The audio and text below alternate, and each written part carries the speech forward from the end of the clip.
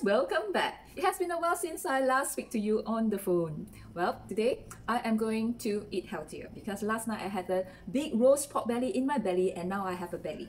So today, of course, I'm going to make something healthier and that is a 111 true Singaporean dish that all Singaporeans loves it and they must have it once a week or maybe every day because this uh, dish will have in every food court and that is none other than a fish noodle soup. Yes, fish noodle soup comes in like fried fish noodle soup or fish head noodle soup. And I think this is a very true Singaporean dish. No one will claim it. No, in not in Malaysia or in uh, Indonesia or Thailand, but in Singapore, it's very special. So why it is so popular here? Probably there's a lot of Teochew people um, descendant, and this uh, fish and noodles and soup is very Teochew style. So in Penang, I also have this dish, but we have it in a fish head steamboat. Yes, uh, yu tou lu, and I love to have this with my family, but Unfortunately, not anymore. So today I'm going to recreate it at home because I bought a big, big, big, big, big, big, big, big, big, big greasy grouper this morning for six dollars and sixty-one cent. So big, so big, so big, and I have to cook it, everything, and have it fresh. So this fish, of course, to make this dish, you must have a fish. You must have ginger, that you must have uh, noodles. So I'm using a rice noodles. So this is the rice noodles, which I have it for the laksa, and you can use this as well. Um, what else? Tomatoes, and then I'm gonna add in a few other extra ingredients if you have it at home, such as like a salted plum. This is uh, ham soy mui lak sumboy sour plum. And I'm also going to throw in a salted, salted, salted yam chai mustard green. So this will enhance the, the broth of this soup dish. And what else do I need? Of course, if you have a tofu, you can throw it in as well. So it's almost like a steamboat, you know, very hearty, very nutritional, and uh, a lot of things in that the bowl of uh, fish uh, noodle soup. And besides that, I'm going to enhance it with uh, a little bit more of uh, make it more expensive and exclusive. That is, add in a few drops of cognac. Of course, you can add in like uh, brandy or you can add in the Chinese rice cooking wine or Dom Badanitin is more uh, nutritional and uh, lots of ginger. Oh, so good. And of course, it's also up entirely up to you whether you want to have your dish very milky and you can add in the evaporated milk. So just a few drops and make it very low, low, cloudy and it's creamy and looks mm, very authentic. So to stay tuned, I'm gonna start cooking now.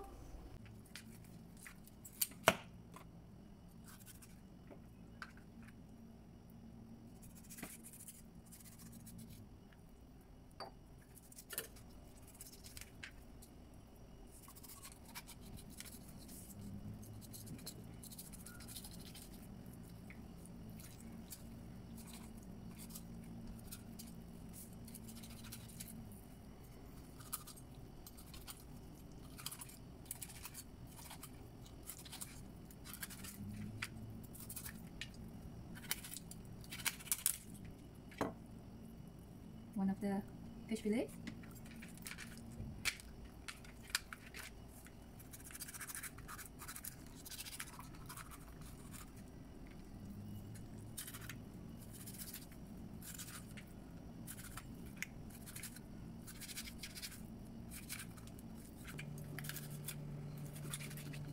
Sorry, I was held up, but the fish is waiting.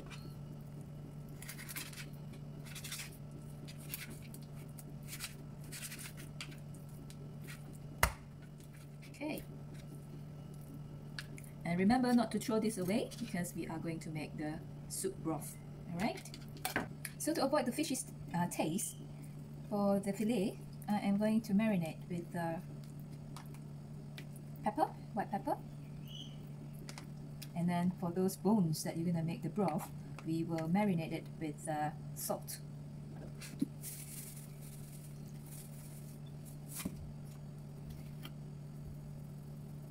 So at least 30 minutes before we pan fry them.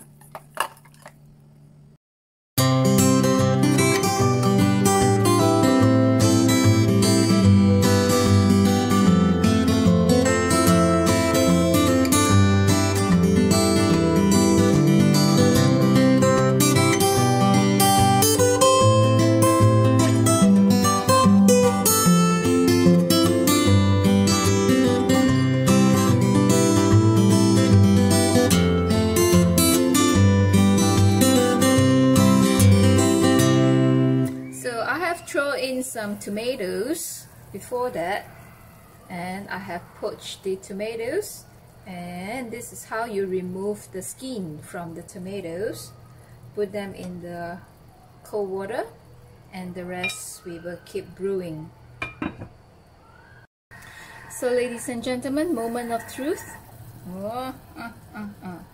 I have not added in any flavoring yet so there's umami there's uh, sourness saltiness everything in it. What I need to add is one piece of rock sugar that will balance up the taste. So and then last but not least I am going to add in the evaporated milk about uh, a quarter cup or so we see how it goes.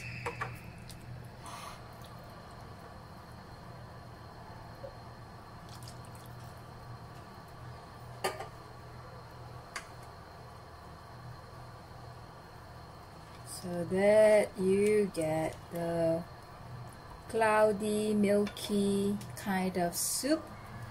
And I tell you it is amazing. It's so hearty creamy gingery everything else. So guys moment of truth. I'm gonna flambe my uh, fish soup.